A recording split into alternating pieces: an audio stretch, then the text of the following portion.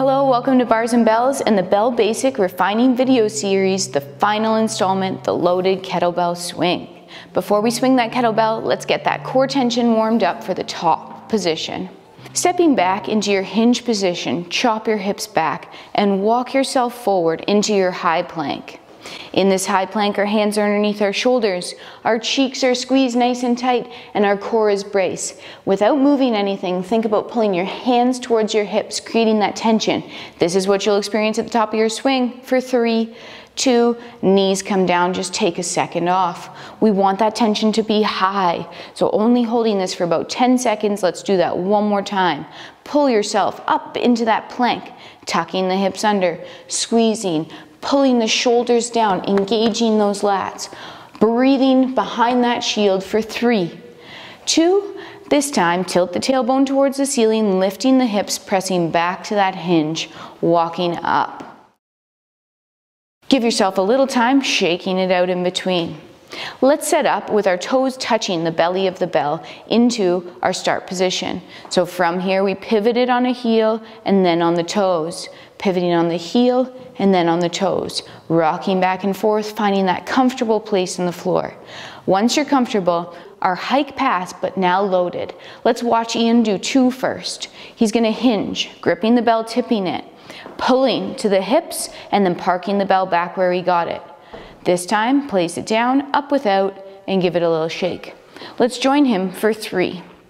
From here, we hip hinged. Place our hands on the bell. Tip, pull to the hips, and then park.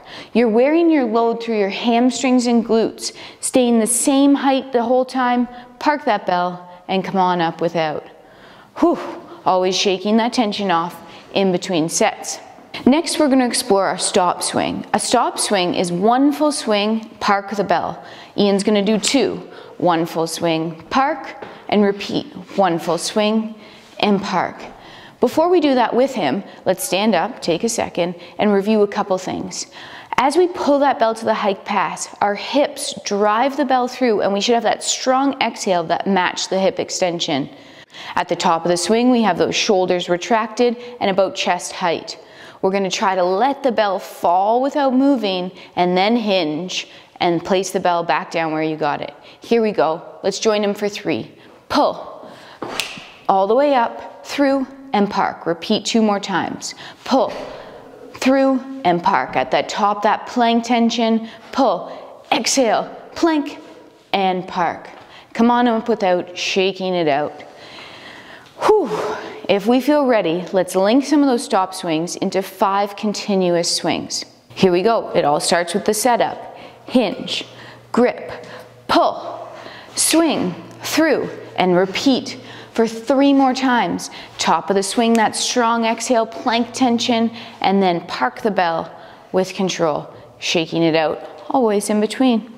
Let's repeat all of those drills one more time, starting first with our hike pass. Set yourself up behind your bell. Once ready, we'll use our hinge and preload. Remember this hike pass is only pulling to the hips. Here we go. Pull using your lats, park the bell. Pull and park, three more. Ian is trying to stay that same height throughout here.